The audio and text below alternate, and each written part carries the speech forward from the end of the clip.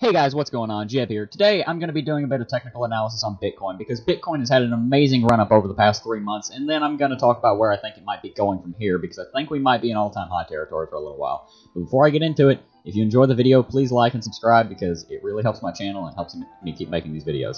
Alright, so Bitcoin, Bitcoin had a very nice run up here. I'm saying had because I do think we're probably seeing the end of it. Right back here, during the China news, after we hit 5,000, we went into about a two-week bear market, and we we hit the bottom down here on the 15th of September. And ever since then, for the next two and a half months, yeah, two and a half months, almost three months, we've just been having an amazing bull market, except for these four days. All these lines on here are just channels I've drawn. You don't need to worry about those. Go away.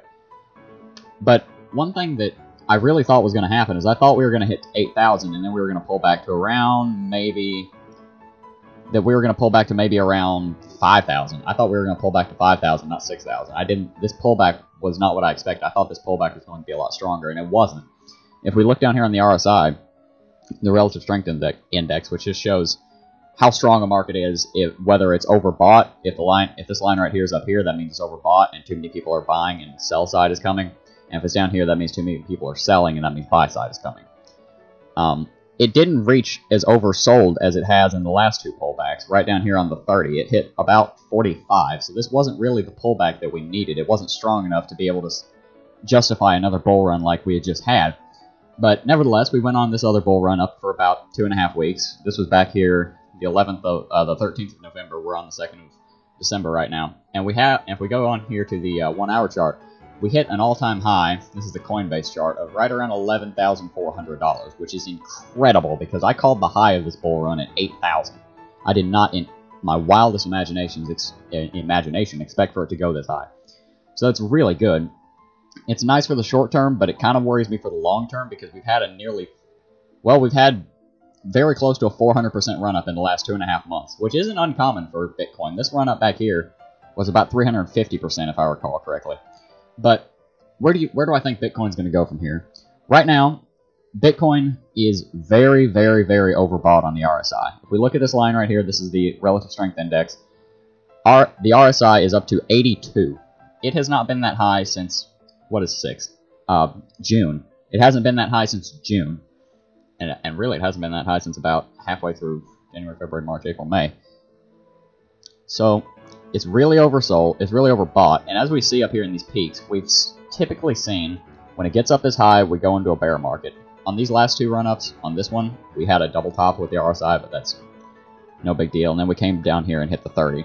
I think the same thing is probably going to end up happening to Bitcoin because I'm not trying to spread FUD, but we've had an amazing run-up and there's just no more room to go. I don't think that this market can keep going the way it's gone. We've had an incredible run up, and a lot of people have made a lot of money, including me, and hopefully you. But I think we're due for a correction, and it's really healthy for Bitcoin that we do have a correction here, because if we don't have a correction and we just keep going up, that makes it all the more likely that this market is going to end up looking something like, when this loads, it's going to start end up looking like this. This is starting to look very, this this bull run right here is starting to look very, very, very familiar to this market back here. We had a really nice, fast run up that a lot of people made a lot of money in, and then we went into a bear market for a year and a half to two years. I don't think that's going to happen with Bitcoin because there's a lot of mass adoption now. But Bitcoin is in a very precarious situation. It needs a healthy correction because it hasn't had one in a long time. Now, as far as short term, what do I think will happen? If we go in here to the hour, Bitcoin has had this really interesting run up. We had down here at this double bottom, we had right around 6,000 a little while ago. Bitcoin has doubled in price in the past three weeks. And then we hit our we hit our top up here, around eleven thousand four hundred dollars, and we've seen kind of this inverted head and shoulder pattern right here actually.